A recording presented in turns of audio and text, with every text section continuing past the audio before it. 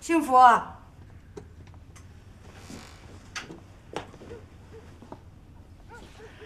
你明天回门的东西都弄好了，要不要看看去啊？不看了，你们要带啥带啥吧。青来，你看看去。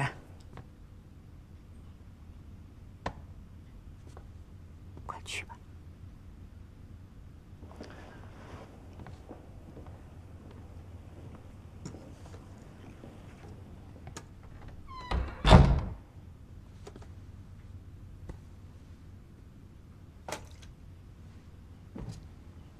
我知道你怪我骗了你了，我我当时也是实在想不出啥主意来了。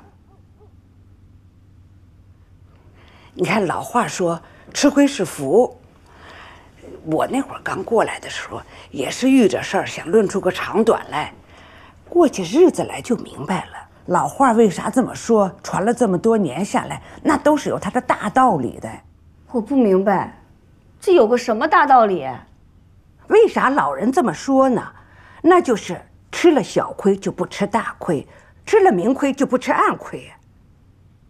这个事儿给撂到台面上了，人家不管人家是咋说，人家是书记，他就是这会儿认输了，往后他有一万个法子让咱家过不好。到那时候，咱家天天的日子不把心拎在嗓子眼上过呀，还过啥？妈，我还真不明白了。这还没发生的事，为什么就当真了呢？那说不好，万传家知道自己错了，他以后就学好不干这混账事儿了呢。你，哎，行，幸福，算我话多了。你看啊，明天你就回门了，回去你问问你妹妹，看她咋想的。好不好？这件事不管咋说，他才是正主，是吧？行，我回去问问我妹妹。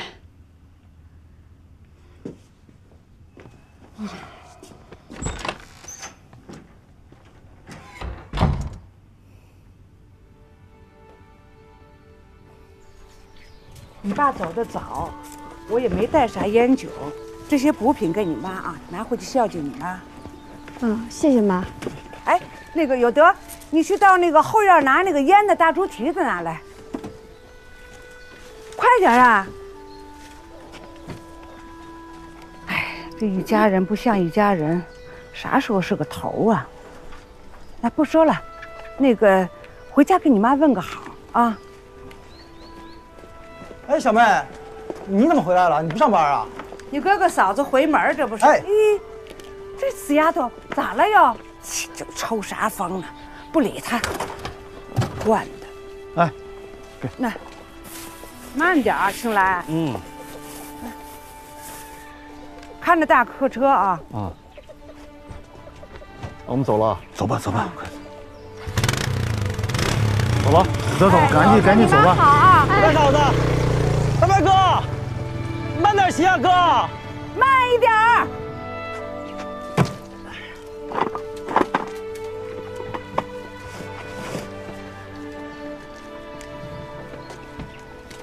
庆芝，你哥大事儿，这就算完了啊。接下来该你的了啊。你看城里这么多的漂亮姑娘，你就没一个看顺眼的？哎，要是有，提前告诉我啊。妈好给你准备，有倒是有一个，是哎，城里姑娘，嗯，她叫亚妮，跟我一样都在城里。哎，庆志，她是城里户口还是在农村进城的？她就是城里人。哎呦，那还不带家来看看呀？妈，这。八字没撇呢。城里的姑娘有啥好啊？费钱。你别瞎说，不听你爸胡说啊！你爸就拿钱亲。哎呦，亏他没钱，他要是有钱，娶媳妇干啥？抱着钱能过一辈子。妈，您不知道，这城里的消费啊，什么都比乡下贵。虽然我和丫妮是真心好，但压力也挺大的。这你不用担心呐，咱们攒的那些钱，你哥的婚事花了一些，你小妹拿出来三万多，将来你的事儿大不了让他再出一些呗。这怎么能行呢？没事儿，他藏钱的地方我都知道。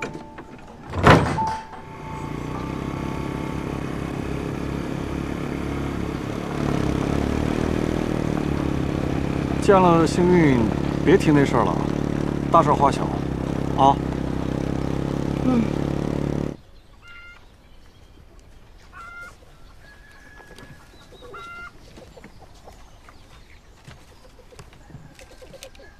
哎，那就好了呀，哎，别揉，别揉，拿凉水冲上去啊！快去，快！这不是干活的。哎呀，啊！哎呦，哎呀！哎呀，干嘛？你干嘛去啊？小美，你干啥？哎呦，孩子，你这是干嘛呢？这是？我去城里打工去。这好好的到城里打什么工啊？好好的，你们都好好的，谁管过我死活呀？咋了？这是？大哥结婚办喜宴，你们让我出钱，我出了。现在你们又操心二哥的婚事儿，我的事儿你们有人管吗？我到底是不是你们亲生的呀？还有二哥，我的钱都给大哥办喜宴了，以后也没钱了，你别惦记我了。谁惦记你了？哎。你跟我说，大哥二哥是你亲哥不？你出点钱，小心眼儿，甩脸子给谁看呢？赶紧回屋去。小妹，你到底怎么了？咋了？我被开除了，我以后再也不能去集团办公室了，我失业了。你做错啥了？咋还开除了？我啥也没做呀。我今天一到办公室，雪梅就跟我说。啊！你以后不用再来办公室上班了。凭啥呀？